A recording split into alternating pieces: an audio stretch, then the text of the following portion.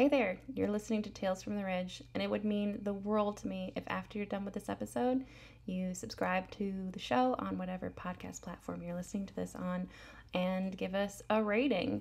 If you really love the show, you can head on over to Patreon and support us. And that way we can make more episodes per month and you can get all the access to my ongoing manuscripts, short stories, all that kind of stuff, as well as the bonus podcast Kyle and I do called Bookies, where I read a book that's been made into a movie and then we watch the movie together and then we kind of do a quick talk and review of it. And that happens every month and is a bonus just for my patrons. But as always, thank you for listening.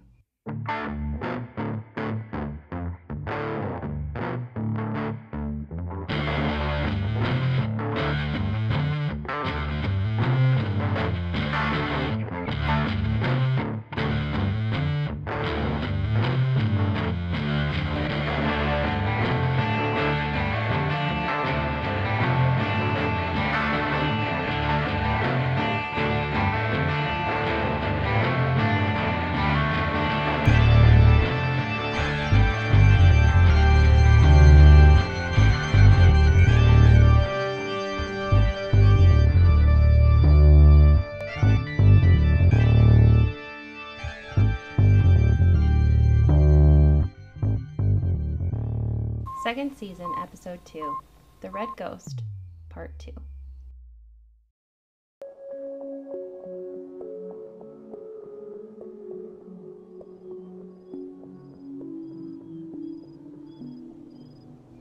Rod stepped out onto the porch as the odd group of riders and hover bikes pulled onto the farmstead. Even in the dim violet light of the moon, Bonnie could see that the color had yet to return to his cheeks. He was still as gray and ghostly as when they had left him. The one remaining dog barked loudly until one of the McCreary twins moved to him fearlessly and introduced himself. Bonnie watched as the dog's tongue lolled happily out of its mouth, tail wagging. Fritz tied off his horse and jogged to the porch, pulling Rod aside and speaking to him in hushed tones. Show us where it happened, Cash said as she swung off her hoss and approached Bonnie. Bonnie nodded, a knot of anxiety twisting in her guts. She had yet to see the scene herself, and the thought of it brought bile up into her throat. As the group rounded the edge of the house, Bonnie's feet refused to move forward. Got her right there, she said roughly, pointing to the laundry line. Her and one of the dogs. Take a look, Barker, said Cash with casual authority.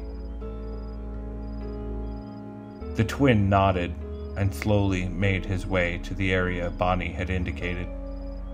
He crouched his hands hovering over the scuffed dirt and torn, dried out scrub, flashlight slowly swinging over the ground.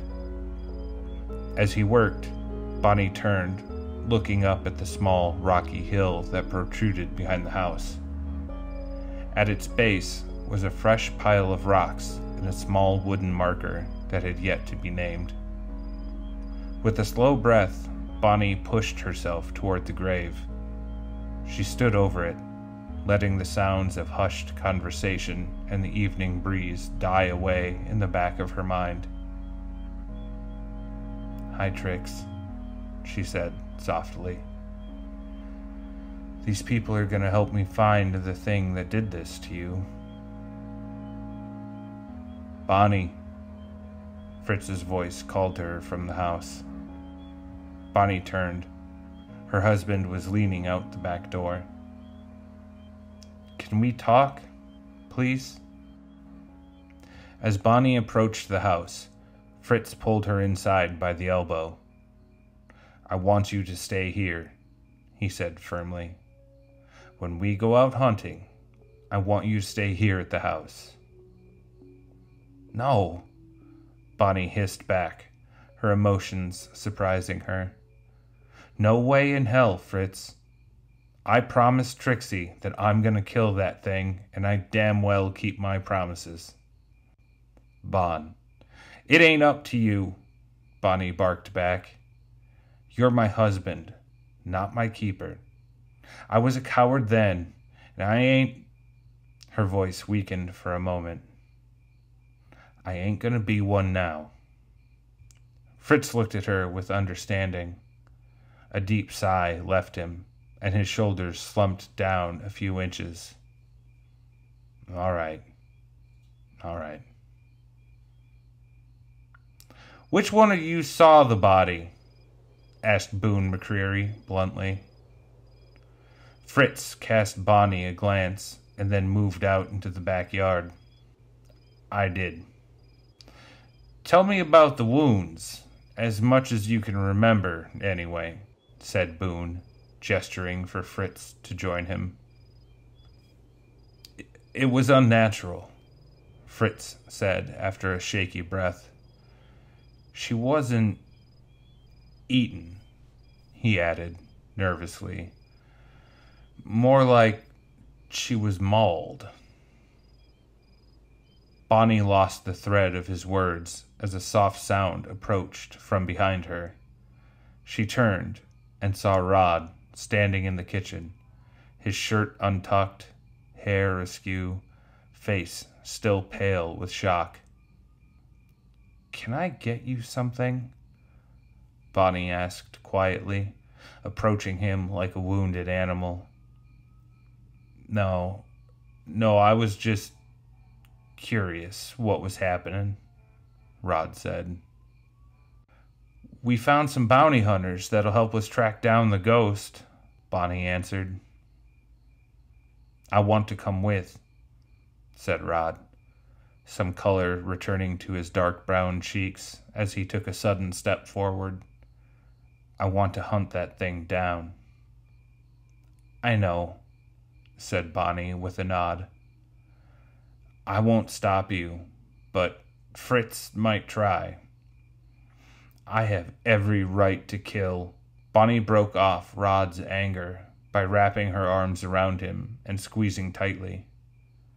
The man slackened slightly in the embrace, his head slowly burying into her shoulder as he began to weep. I know, was all she said. We've got a trail. Fritz burst through the back door and paused at the scene he found. We, um, the twins think they know where it went off to. Bonnie pushed Rod back into standing, holding his shoulders in her hands. You ready? Give me a minute, said the widower as he quickly moved off toward his bedroom. I don't think bringing Rod is a good. I don't want to hear it, Fritz said Bonnie, shooting him a look that held the heat of a thousand suns. Fritz sighed and moved back outside. Bonnie, too, went to her own bedroom, quickly pulling slacks and one of her husband's flannel shirts from the dresser. She stripped quickly, throwing on the clothes much more suited to riding and hunting. With a grunt, she sank down onto the hard mattress and pulled on her boots. As Bonnie stood once more, she glanced aside at the dusty mirror that gazed at her from the corner of the room, locking eyes with her own unfamiliar reflection. She straightened her back and then strode from the room, nearly bumping into Rod as she did so. The two of them said nothing stepping out into the nighttime air together. We're lending them horses, said Fritz as soon as her feet touched the dirt outside. They don't want the hover bikes to scare the thing off. Horses are quieter. We don't have enough tack for everyone, Bonnie pointed out. The twins claim to be able to ride bareback, said Fritz quietly. Ain't a claim, it's the truth, said Barker with a smirk. And Tack will walk, Fritz said with an anxious glance at the Jontar who was idly gazing over the cows in the corral. All right then, said Bonnie with a deep sigh. Cash took Trixie's horse, a yellow palomino named Hayes, and June swung up onto a young gelding they had just purchased that year. Barker and Boone sat astride two of the older horses that did not see much use these days except to keep the cows company. The twins led the way, following the trail of tracks and markings they had found while Bonnie had been inside the house. Over the sound of crickets and other nighttime bugs, Tack's large, clawed feet beat an odd rhythm as she jogged beside the horses, going little more than a trot. Fast enough to make progress, but slow enough that the twins could keep navigating by signs invisible to everyone else without their training. The pace, though understandable, was agonizing to Bonnie, who could feel her grief percolating into anger with every moment. She kept her gaze forward, watching the silhouettes of red rocks backed by a cascade of galaxy that moved imperceptibly over the landscape. Bonnie looked over her shoulder as Cash Guthrie urged Hayes up beside Matilda, the two horses shaking their heads hello. Tell me more about this red ghost, said the gunslinger her gaze fixed towards the horizon. What have you heard? Bonnie asked. Not much, Cash admitted. We haven't been on Messier 1 for a while, and from what I understand, this has only been going on for a few months. Bonnie nodded.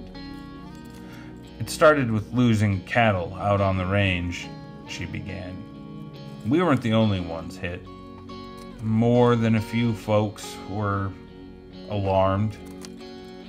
Some even lost a few ranch hands. And no one's done anything yet? Cash asked with a quick glance at Bonnie. Some folks didn't seem to believe it was all the work of one uh, creature. Bonnie struggled to explain. Ain't nobody ever seen it, you see. Cash nodded. Rod had been worried that it had started following our herds, stalking the men home, watching the farm. I guess. Bonnie cleared her throat and blinked rapidly. I guess he was right. And during the attack, Cash's voice was gentle. You didn't hear anything? Didn't see anything? Just saw shadows, Bonnie said softly. Just heard the dogs. Why are folks calling it the Red Ghost? Cash asked. A few times when folks have caught a glimpse, all they see is a vague red shape and some fur has been left behind. Yes, Cash answered. Fritz showed us the tuft that he found. The two women rode in silence for a long moment. It was a peaceful silence, full of rumination. Bonnie got the impression that Cash was someone who was not put off by quiet, that both of them could sit here for hours comfortably, riding horses across dark red dirt and not say a word. I'm sorry to make you relive it, Cash finally admitted, looking down at where her hands held the reins. I'll be reliving it every day of my damn life, I think, Bonnie said with a mirthless laugh. Cash had no reply to that, just a tiny nod of her head that seemed to carry the weight of the acknowledgement Bonnie needed. Barker and Boone slowed their horses, and everyone else followed suit. Cash slowly pushed Hayes toward the front of the group. The Palomino tossed her white mane with a huff. Bonnie felt Matilda's anxiety beneath her, the horse's hooves shuffling, her ears flipping back and down slightly.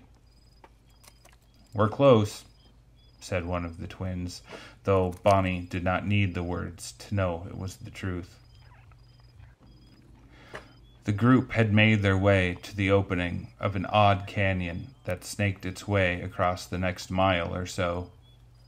Striated red rock wormed in irregular curves before them. Bonnie knew that her best friend's killer lay at the end of that maze. I advise we stay in pairs, said Boone.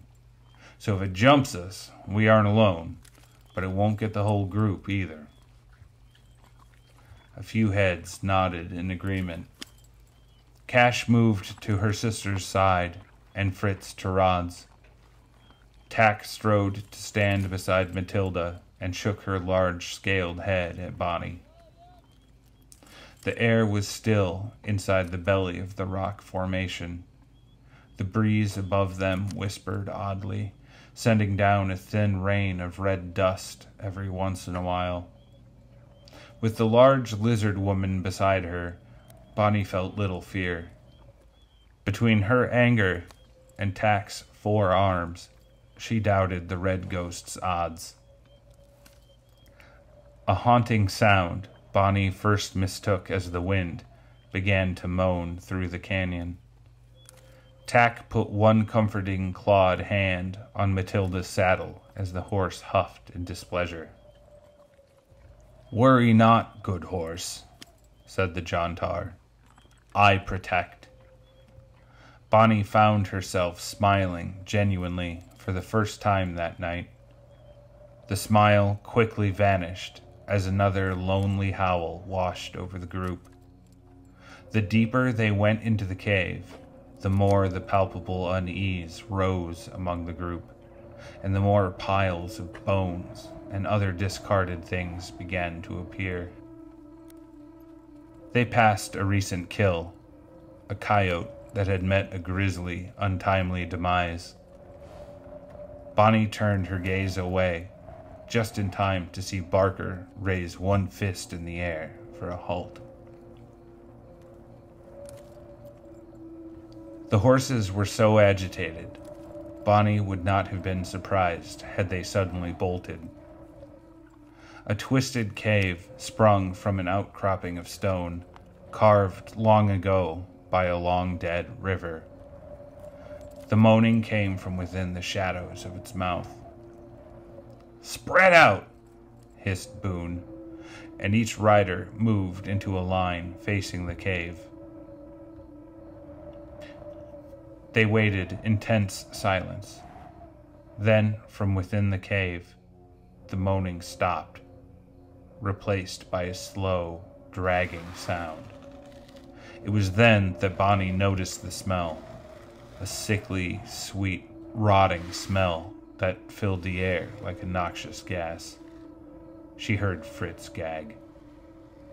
A large, red, unruly paw stepped from the shadows, followed by another. She heard Boone curse under his breath as the thing showed its face lit up by the lavender moonlight. Bonnie could not say what stood before them, but she didn't have to. It's a goddamn chimera! Boone hollered as the creature lowered its cat shaped head. A dazzling red light went off as Cash fired a flare. The charge skittered around, littering them all in its chaotic glow. The chimera's lizard like body moved with unnatural speed over the red earth as it leapt towards the twins. Barker managed to get off a shot before it caught him from the saddle and slammed him into the ground. With a roar, Tack bounded forward, lifting the beast from the McCreary boy and throwing it against the canyon wall. The chimera was stunned as its body slithered down the rock it landed on its wide, clawed paws with ease, shaking its grisly maned head, matted fur swinging wildly. Its barbed tail slashed out at the Jontar woman, who leapt back in fear and surprise. Watch out for that tail, warned Boone as he climbed back up in the saddle. It's poisonous. Move, Tack, Cash commanded calmly as she flanked the animal with her horse. Tack obliged, backing up until she was again in the line of horses.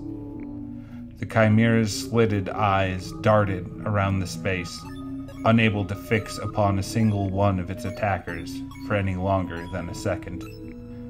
That hide is resistant to bullets, Barker said as the chimera lunged at his horse.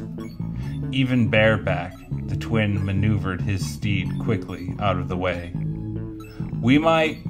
The man was taken by surprise as the chimera stung its tail where his head had been only a moment before. The beast did not wait another moment, scrambling up the side of the rock and throwing itself at Cash. Cash and her horse both fell to the side, steed screaming in fear. Cash! June screeched as her own horse rebelled, galloping away further down the canyon. Don't shoot! yelled Boone as Fritz raised his shock rifle. You might hit her! Cash's horse managed to right itself, its saddle empty as it followed June's, bolting away. Cash lay beneath the chimera, which gnawed unknowingly on the end of her shock pistol. With a loud crack, the beast stumbled back, its jaw now hanging oddly to one side. An ungodly howl left its maw as green blood splashed over Cash's face. Bonnie pushed Matilda forward, and the horse reared up as they reached the animal, bringing her front hooves down upon its back. The chimera shrieked and Cash took the opportunity to scramble upward. As Bonnie and Matilda circled back, a lasso looped over the chimera's neck and tightened. Bonnie followed the rope with her eyes back to Fritz, who nodded at her. Rod had his own lasso out as well and leapt down from the saddle, swinging it in a wide O above his head. The beast wriggled against the rope and nearly pulled Fritz down off his horse until Tack lent a hand or four. With its head pinned to the canyon floor, the chimera's lizard body wriggled like a fish out of water. Rod let his lasso fly, and it snagged around the beast's legs, tying them taut. The chimera was growling now, whining a low keen that made Bonnie almost pity it. Where did this thing come from? she asked. A lab, said Barker, wiping the sweat from his brow with a bandana. Intercoastal bred these to use as scouting mounts during the gold rush. You can't be serious, said Rod, gazing down at the beast gnashing its teeth at all of them. Messier 1 was a more wild place back then, said Boone affirmatively. They eventually phased them out, the man said with dramatic finger quotes. But clearly, a few must have escaped. I can't imagine trying to ride one of these, said Bonnie, watching the slitted eyes of the chimera dance around the canyon in agitation, green blood pooling beneath its head from the wound in its jaw. This one's feral, said Barker. They weren't so bad when they were taken care of, bonded with their riders, actually. How do you know all of this? Fritz asked of the twins dubiously. We might have, uh, been a part of that scouting corps, said Barker, clearing his throat. Bonnie felt an ember of pity light up in her heart. It took everything she had to not instantly snuff it out. There was the sound of horses' hooves against hard dirt as June reappeared, leading her steed on foot, taking in the scene with wide eyes. What do with creature? asked Tack carefully. This one's too far gone, said Boone with a deep sigh. Otherwise, I would have asked Cash nicely if we could keep it. Barker nodded solemnly while Cash scoffed. There was a long silence where no one said a thing, each standing still, gazing at the trapped chimera that wriggled between them all, the flare finally pittering out in a puff of smoke. I'll do it, Bonnie said quietly. Every head turned to look at her. There's a soft spot in the skull just behind the eye, Boone said mournfully. Your rifle ain't gonna pierce those scales. Bonnie looked at Rod, who nodded at her with purpose. With a slight shake in her hands, Bonnie approached the chimera as Fritz and Rod hog-tied its limbs to its body. Tack held the rope around its neck, keeping the head pinned and still against the earth. Bonnie sat quietly beside the beast and held its gaze.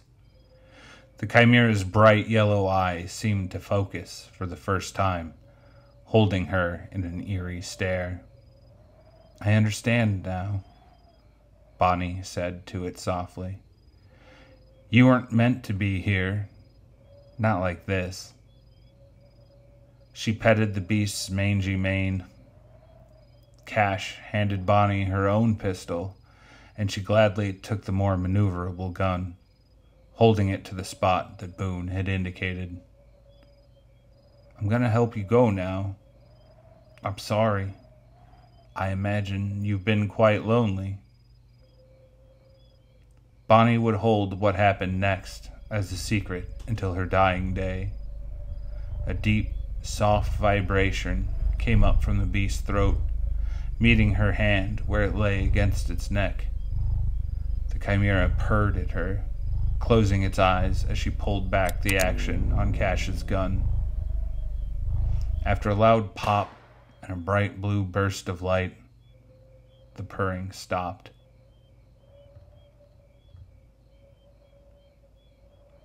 Come look at this, said Barker as Bonnie stood.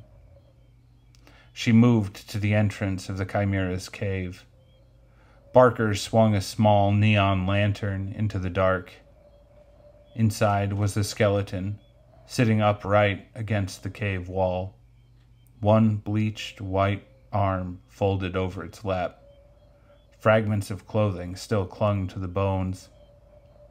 The remains of a campfire long ago extinguished rested beside it, a series of soot stains arching up the canyon stone behind it. Barker pulled a pack from a dark corner of the cave and held it up to the light. The Intercoastal Mining and Rail Company logo reflected back at him from a patch on the flap, a name embroidered just above it. Well, I'll be, said the twin breathlessly. That's where old Georgie went. Georgie? June asked, poking her head into the cave. Who's that? He was a scout, said Boone. Just like us. Must have heard the plans for the Chimera Corps and run off. More than a few folk did. It weren't just the beasts who had bonded, added Barker, his voice distant and sad. What should we do with them? asked June, her eyes locked to the skeleton. Move that chimera in here and leave 'em together, just like they ought to have been, Barker replied, striding from the cave to do just that. Barker and Boone undid the ropes around the chimera with ceremonial movements. With Tack's help, the beast was quickly moved into the cave to rest beside its skeletal rider. It was a contemplative silence that fell over the group as they mounted up once more. As the horses moved out of the canyon, the cool breeze of morning greeted them just as the first hints of daylight began to rise over the horizon. I think Trix will rest easy, said Rod as he walked his horse beside Bonnie. Well, I hope if she doesn't, she haunts you and not me, said Bonnie, sending a small smile his way. The two friends shared a long gaze that held a storm's worth of emotion. Let's get home, said Bonnie quietly, and Rod bobbed his head in agreement. The horses and their riders sped up over the crimson dirt, the sunrise casting their shadows back toward the canyon in long strands. Bonnie glanced back over her shoulder for a split second half expecting to see the chimera gazing back from the warped shadows. Just another ghost haunting the dirt hills, like so many before it, and so many to come.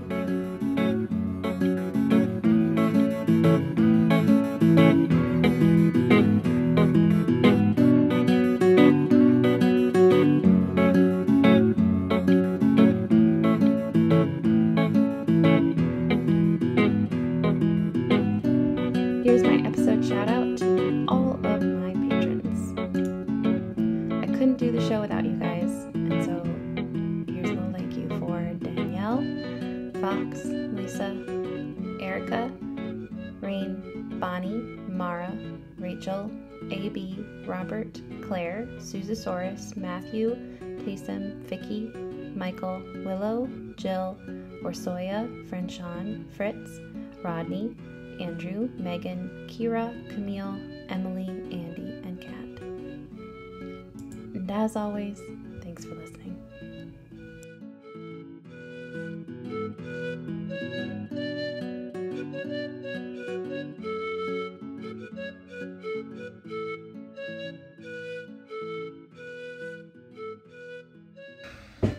I mean, anytime I get to shout, it's a goddamn. Sometimes I write these things down and I'm like, why am I doing this to myself? Because I know exactly what you can do. goddamn Camara. I mean, I don't want you to not say it that way, but, but not that way. Right. Oh yeah. yeah.